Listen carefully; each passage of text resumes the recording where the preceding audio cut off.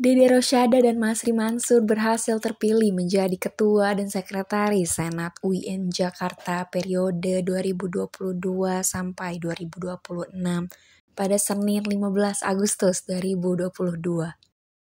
Acara ini berlangsung secara hikmat di ruang diorama Auditorium Harnastion UIN Jakarta. Keduanya bakal meneruskan kepemimpinan Abu Dinata dan Armai Arif yang segera menyelesaikan masa tugasnya terhitung tanggal 31 Agustus 2022. Sebelumnya dalam pemilihan tersebut, empat guru besar UIN Jakarta menyatakan kesediaan mereka untuk dicalonkan sebagai ketua dan sekretaris Senat Universitas, yaitu Dede Rosyada dan Saiful Mujani sebagai calon ketua Senat Universitas Masri Mansur dan Salman Manggalatung untuk Sekretaris Senat Universitas. Melalui pemungutan suara yang dilakukan secara offline dan online, Dede berhasil meraih suara terbanyak untuk Ketua Senat dengan 51 pemilih atau unggul 9 suara dari Saiful yang meraih 42 pemilih. Sedangkan untuk posisi Sekretaris Senat, Masri meraih suara dengan 49 pemilih atau unggul 8 suara dari Salman yang meraih 41 suara.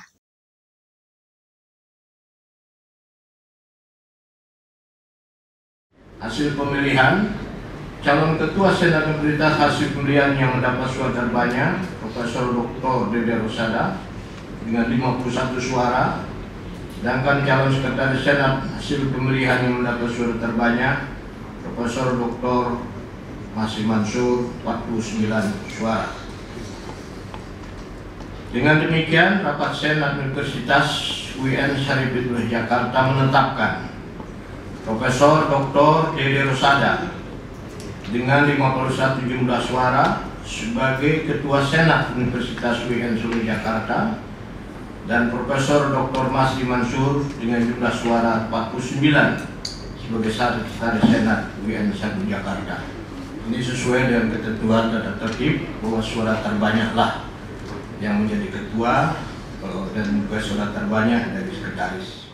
Jumlah anggota Senat Universitas yang hadir sendiri sebanyak 94 orang, di mana 84 orang hadir secara offline dan 11 orang hadir secara online. Rapat Senat yang berlangsung lebih kurang 3 jam ini juga diisi dengan penyampaian kinerja Senat Universitas UIN Jakarta periode 2018 sampai 2022.